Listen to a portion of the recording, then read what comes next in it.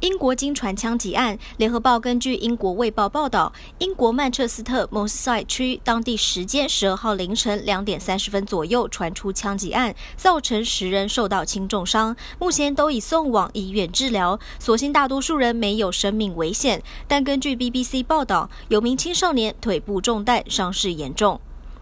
英国警方透露，发生枪击案地区几个小时前。还在欢庆加勒比海狂欢节，受伤民众很可能是参加完节庆还留在原地的民众。警方同时强调，目前是在确认案发确切地点，并厘清枪手身份，未来会加强附近地区的巡逻工作。更多相关讯息，请尽情锁定《新闻时事报》。